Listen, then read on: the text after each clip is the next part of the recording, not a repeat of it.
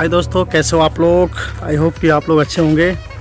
आज हम गेहूँ की बुआई में अपने खेतों में, गाँव में हैं। तो अभी ये हम लोगों का खेत है। तो यहाँ बुआई चल रही है और प्रिंस, पापा और अजीत खेत पे हैं। ये ट्रैक्टर है, छोटे लाल का। और ये लोग हैंगी हैंगार हैं।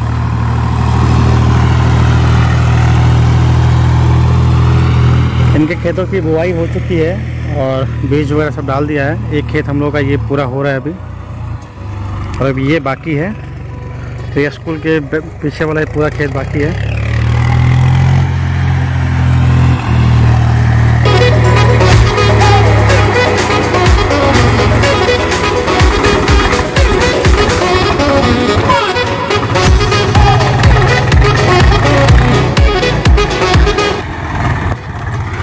और इस खेत में अभी हंगाना शुरू हो गया है। उसके बाद थोड़ा बीज वगैरह डालेंगे और फिर डायरेक्ट थोड़े से जुताई हो जाएगी। उसके बाद फिर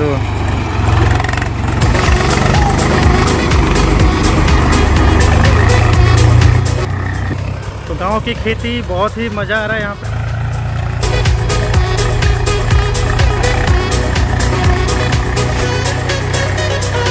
के आ चुके हैं और अभी ये देखिए आप दोनों खेतों की हिंगाई ख़त्म हो गई है, जो बड़े बड़े ढेले थे सारे चकना शुरू हो चुके हैं। तो अभी इस लास्ट वाले खेत का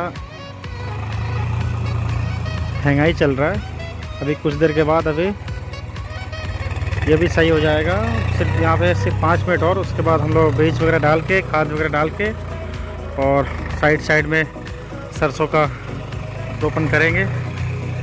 आधे घंटे के अंदर में सारा खेत हम लोग का, तीनों खेत, तीनों का तीनों खेत फाइनल हो जाएगा। ये है वो लास्ट वाला खेत।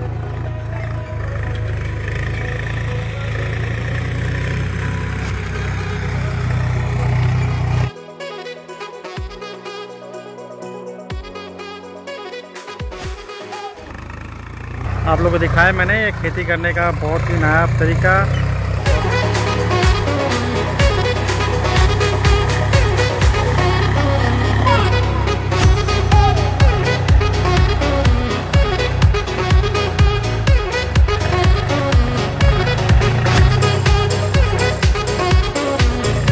ये वो गेहूँ का बीज है और खादर है, जो इस खेत में बुआई करने के लिए लाए हम।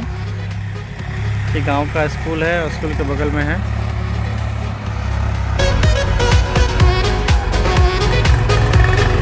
आप लोगों से मिलते हैं कुछ देर बाद। अजीत कुमार यहाँ पे खादर छीटते हुए, आप देख सकते हैं इनको साफ़ साफ़ इसमें जूम करके दिखा दो।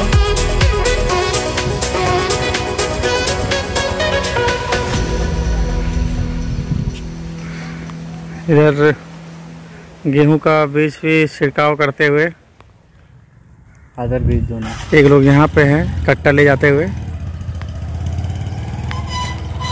बड़ा ही मनमोहक गाँव चकियोगा। गाँव के चारों तरफ़ रास्ता। और साथ में प्रिंस कुमार भी यहाँ पे आए हुए हैं। प्रिंस कुमार। ये पापा भी यहाँ पे पिच का छिड़काव करते हुए हमको तो आता नहीं है इसलिए छोड़ दिया है।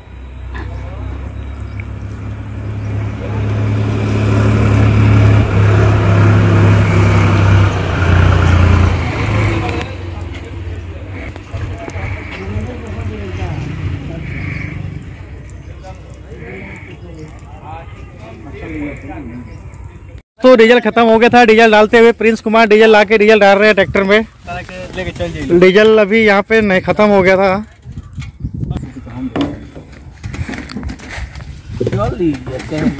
तू हो बहुत भारी है। अरे भाई पचास लीटर है भाई। कितने लीटर टंकी है भाई ये? भैया